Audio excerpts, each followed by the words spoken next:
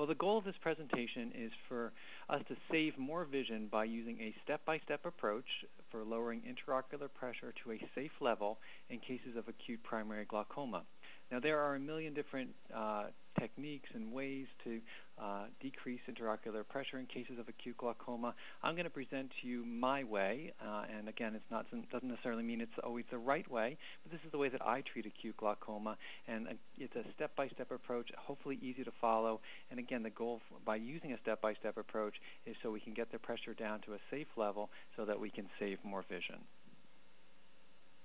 To diagnose primary glaucoma, we usually see the onset very quickly, usually within 24 hours, sometimes within just a few hours.